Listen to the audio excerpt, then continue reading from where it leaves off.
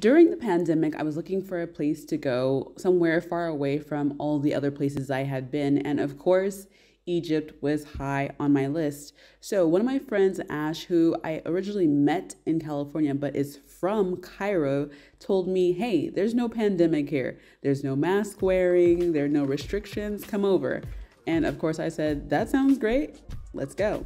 So, here is a little bit of our trip.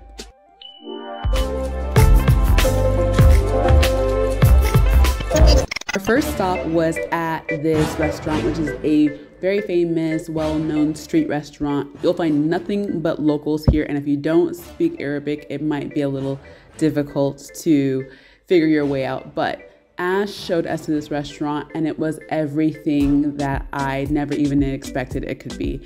One thing I learned about my trip to Egypt is that the food is amazing, and it really baffles me that there isn't more written about Egyptian cuisine today.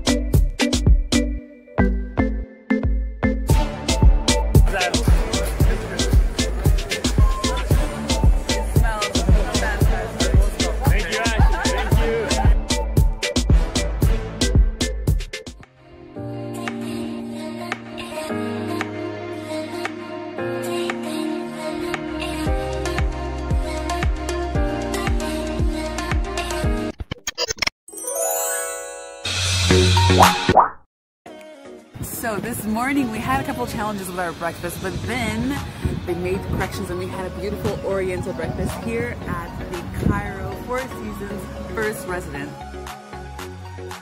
And because there was a little area with the breakfast,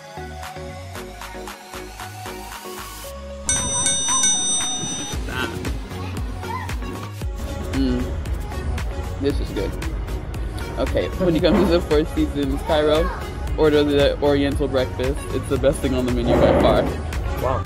The Four Seasons around the world is always a joy to visit because they have incredible service, impeccable facilities, and it's always right smack dab in the middle of all of the cultural hotspots. Of a fresh pineapple juice.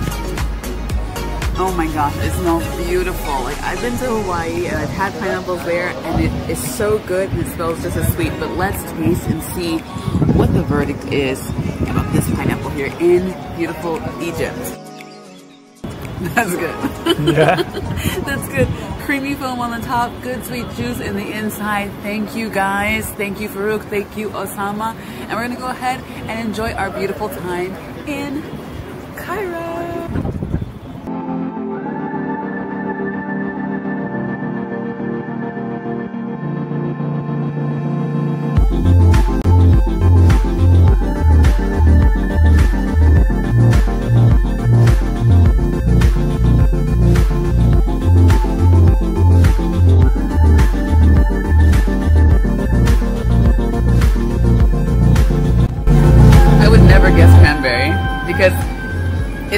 Much um, more depth of flavor. Like there's, it's it's more rounded than the cranberry.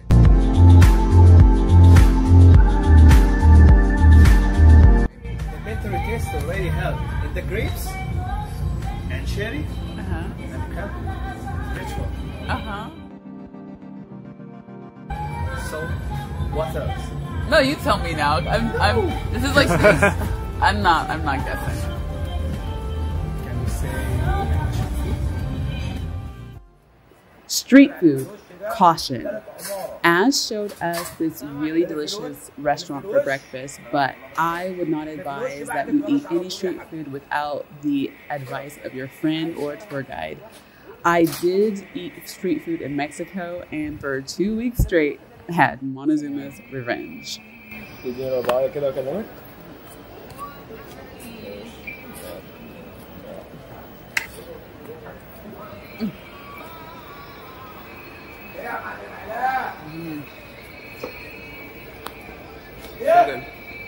Do you it?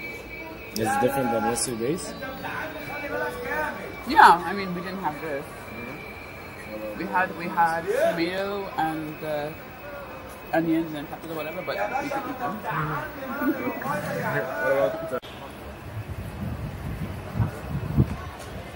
Is it him? How was your food? It was good. It was good. cool. Time to go Yeah.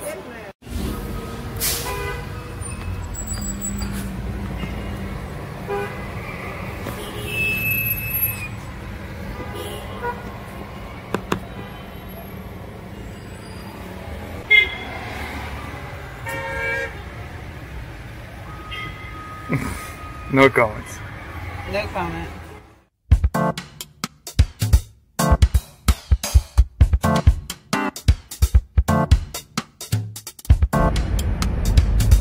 I've always had a dream of going to the pyramids, and after reading The Alchemist, I definitely have wanted to go for a very long time. If you haven't read The Alchemist, get it. But I've had a dream of going to the pyramids, and when we got to the pyramids, it was really shocking, the whole experience. If you want to hear more about my thoughts, actually, we started to do an audio recording as we were there, coming upon the pyramids, and we recorded our live reactions. So check that podcast out. It's called In the Moment, and you can find it through the Go Girl webpage, and that's www.thegogirlgrlnoi.com. But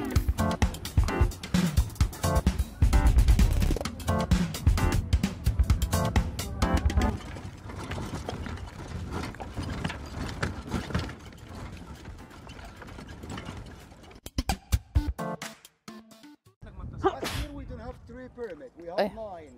Six small pyramid, like this pyramid over there. This pyramid called for the queens and the child. And three bigger for the three king. Because this area is called Giza. Giza called 4,600 years old. But not first pyramid in Egypt built. First pyramid in Egypt built is called Step Pyramid, Saqqara. Saqqara far from here like 21 kilometer. And he's called 7,000 years old. But Ola win, you know this pyramid because this is the higher one, the bigger one. Mm-hmm. So, all these pyramid also built them from one kind of stone, of limestone. Limestone carry.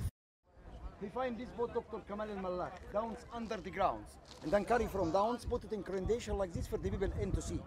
After he get the stone and he work in his pyramid build, each king from the tree take like 30 years working his pyramid building. And then he make the pyramid like tombs. So when you go in inside the pyramid, all the way down like this, means salute for the king. Down under the ground, this pyramid, 68 meters.